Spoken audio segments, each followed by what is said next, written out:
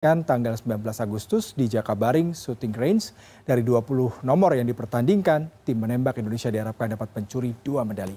28 atlet yang tergabung dalam tim menembak Indonesia sudah sejak Juli berlatih dan beradaptasi dengan kondisi venue di Palembang.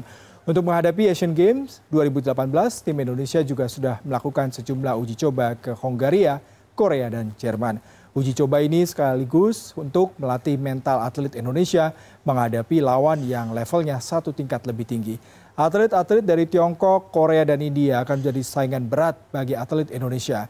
Di hari pertama perebutan medali pada Senin mendatang akan mempertandingkan nomor pistol 10 meter, mixed team, dan rival 10 meters 10 meters.